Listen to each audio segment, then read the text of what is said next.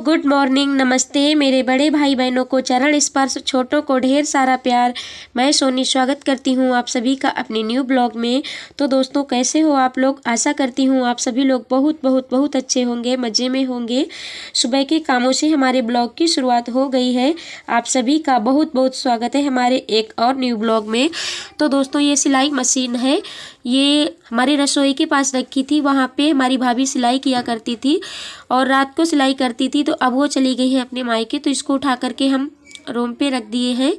और हम तो सिलाई करते नहीं हैं, जब कभी सिलना हुआ थोड़ा तो यही रूम पे कर लेंगे। और भाभी थी तो वो ज़्यादा सिलाई करती थी तो यहीं पे रखी थी जहाँ पे ये ठिलिया खड़ी है, इसी के पास में रखी थी। तो हम यहाँ से हटाकर उसको रख दिए हैं और ये सुबह की झाड़ू लगा रहे हैं हम। तो ये ठिलिया पे बहुत सारा सामान रखा रहता है तो उसी को हमने हटा दिया है, साफ़ कर दिया है। और दोस्तों, सुबह होते ही फुल एनर्जी के साथ लग जाती हूँ घर के कामों में। और ये तो डेली का काम है, ये तो करना ही पड़ेगा। कितना भी काम ना हो, लेकिन ये झाड़ू और चूल्हा की सफ़ाई, ये तो सब करना ही पड़ता है। चाहे कितना काम ना हो, घर पे ये रोज़ का काम है। और ये इसी से शुरुआत हो जाती है हमारे दिन की। तो झाड़ू लगा देते हैं हम और झाड़ू लगाने के बाद बाकी का काम करेंगे। और सुहानी अभी हमारी सो रही है। और सुबह इतनी ठंडी होती है तो ठंडी में बहुत ज़्यादा काम हो जाता है।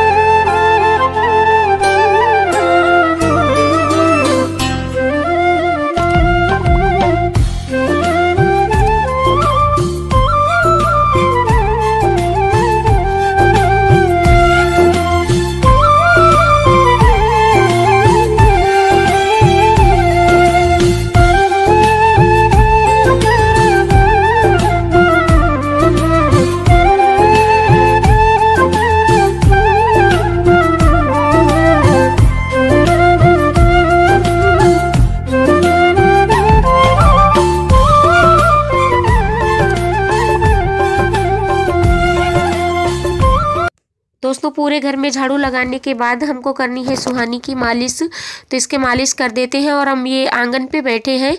तो यहाँ पे अच्छी धूप आ जाती है, वही दस, साढ़े दस बजे करीब बहुत अच्छी धूप आ जाती है। और सुबह से तो नहीं आती है, तभी हम इसकी मालिश नहीं करते हैं। जब दस, साढ़े दस, ग्यारह बजते हैं, तब इसकी मालिश करते हैं हम। तो इसकी मालिश कर देते हैं और ये तो डेली का काम है, हमारा इनकी मालिश करो।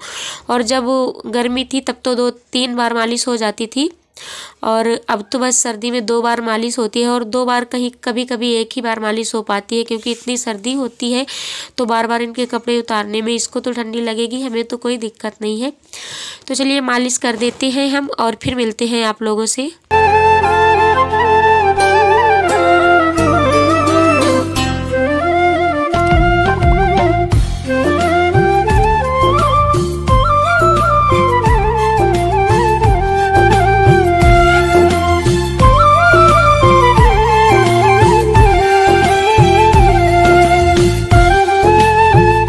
और इधर अम्मा हमारी बना रही हैं खाना तो हमने झाड़ू लगाई और सुहानी को मालिश की और जो सुबह का काम होता है वो हमने कर दिया और अम्मा खाना बना के तैयार कर दिए। और इधर भैया हमारे बनाने जा रहे हैं पनीर तो जब भी हम लोगों को पनीर खाने का मन होता है तो घर पे दूध फाड़ लिया जाता है और बना लिया जाता है पनीर। तो ये शाम को दूध फाड़ के रख दिया गया था तो वही पनीर है तो भैया काट रहे हैं और ये भैया ही बनाएँगे। और अम्मा ने साग बनाया है, चावल बनाए हैं, रोटी बनाई है बाजरा की और दादा को हमारे साग बहुत ज़्यादा पसंद है, इस वजह से साग बना है। बाकी हम सभी लोग ये पनीर खाएँगे और साग भी खाएँगे, जिसको जो खाना होगा तो खा लेंगे। और दूध काफ़ी बच जाता है शाम को और जब भाभी थी और भाभी के बच्चे थे तब कम बचता था, क्योंकि सभी लोग खा लेते थे शाम को और नापा उतना ही दूध जाता है और तीन लोग कम हो गए हैं तो दूध बच जाता है, इस वजह से शाम को डाल दिया गया था। कि सुबह पनीर बनाएँगे। और इधर देखिए, सारे मसाले हमने तैयार कर लिए हैं। प्याज और अदरक, लहसुन का पेस्ट, हरी मिर्च, जितने भी मसाले हैं सब तैयार हैं। और भैया बनाएँगे, हम तो बस ऐसे ही बैठे हैं। और ये देखिए, पनीर कट के तैयार है। और भैया हमारे कर रहे हैं पनीर को फ्राई। फ्राई करके बनाएँगे। और आज यहाँ पे पहली बार हमारे यहाँ फ्राई करके बन रहा है। बाकी तो कच्चा पनीर बनाया जाता है। लेकिन भैया बोल रहे थे कि आज फ्राई करके बनाते हैं। ये कैसा लगेगा खाने में? हमने तो खाया है, पर यहाँ पे ऐसे ही बनता रहा है और हमको भी कच्चा वाला ज़्यादा पसंद है। तो देखिए, पनीर फ्राई हो गया है। और दोस्तों, अब हमारी भाभी चली गई है अपने मायके तो हम भैया से बनवाएँगे खाना। भाभी का मतलब भैया पूरा करेंगे। तो देखिए, भैया बना रहे हैं और ये बहुत अच्छा पनीर बनाते हैं भाई।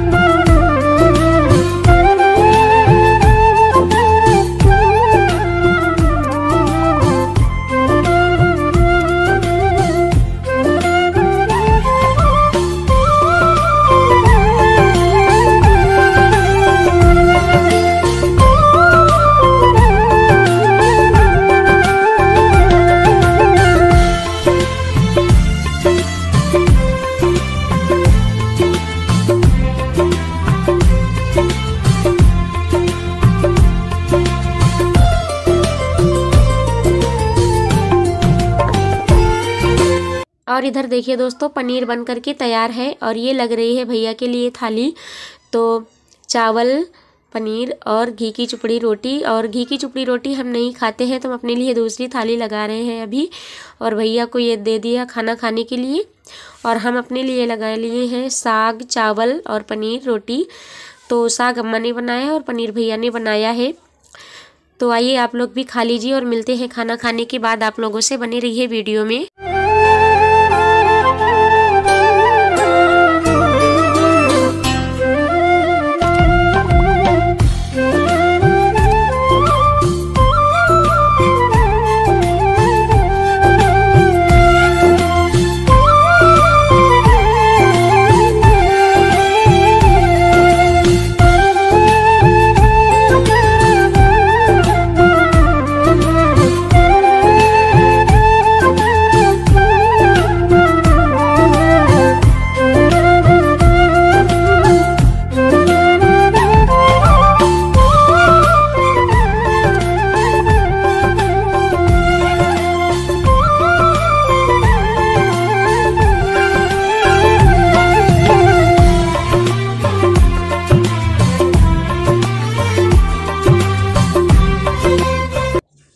खाना खाने के बाद हमने बाल बाँध लिए, तैयार हो गए हैं हम। और मीठी को भी तैयार कर दिया, कपड़े पहना दिए और सुहानी को गर्म कपड़े पहना दिए। और ये शाम का टाइम है, शाम के करीब साढ़े चार बजे हुए हैं। तो दादा हमारे खेत से बरसीम लेकर आए हैं तो वही हम कतरवा रहे हैं। तो हम लगा देते हैं, दादा काट लेंगे। और जो प्यार और बाजरा और करबी जो कतरी जाती है तो वो एक दिन काटने वाले आए थे तो वो कतरवा के रख लिया गया था। तो अब डेली नहीं काटा जाता है तो बस बरसीम मिला दी जाती है और जानवरों को ऐसे ही डाल दिया जाता है तो वो खा लेते हैं। और आज हमारे गाँव में एक बारात है तो उसी को देखने की वजह से हमारी मीठी साल और स्वेटर लेके आई है, बोल रही मम्मी, हम बारात देखने चलेंगे। तो हमने कहा, चलो दिखा देते हैं। तो हमारे गाँव में जो बारात होती है तो निकासी घूमते हैं सभी लोग। तो वही देखने के लिए हम सभी लोग इकट्ठा हो गए हैं। ये देखिए हमारी बड़ी अम्मा और भाभी, सैल, कल्पना और जितने भी मोहल्ले के सभी लोग हैं तो सभी लोग बारात देखने के लिए इकट्ठा हो गए। तो ये दूल्हा गाड़ी है, इसमें दूल्हा बैठा हुआ है और पीछे पीछे डीजे और बाकी जो लेडीजें बारात में निकासी घूमती हैं, वो लोग नहीं आई हैं हमारी तरफ़ और हमारे यहाँ जब कोई बारात होती है तो पूरा गाँव घूमा जाता है। लेकिन ये उस मोहल्ले की बात है तो वो लोग हमारी तरफ़ नहीं आई। पता नहीं क्यों नहीं आई, शायद टाइम ज़्यादा हो गया इस वजह से। और जब हमारे लोगों की तरफ़ बारात होती है तो पूरा गाँव घूमते हैं। तो सभी लोग इकट्ठा हो गए बारात देखने के लिए, लेकिन ना तो डांस हुआ, ना तो कुछ सिर्फ़ दूल्हा गाड़ी ही निकली। तो उसी को ये बच्चे देख के भाग रहे हैं पीछे पीछे और फिर इधर देखिए, शाम के पाँच, साढ़े पाँच का टाइम है। बारात देखने में इतनी टाइम लगा दिया हम लोगों ने। तो ये शाम को सभी लोग अपने अपने घरों में जानवरों को सानी, चारा पानी यही कर रहे हैं। और दादा हमारे बकरी बांधने जा रहे हैं अंदर क्योंकि सर्दी बहुत ज़्यादा होती है और अम्मा कर देंगी जानवरों को चारा। तो बस दोस्तों, आज का वीडियो यहीं तक। और यदि आप लोगों को हमारे वीडियो पसंद आते हैं तो प्लीज़ हमारे वीडियो को लाइक करें। और चैनल पर पहली बार हो तो चैनल को सब्सक्राइब करें। तो चलिए फिर मिलेंगे तब तक के लिए नमस्कार बाय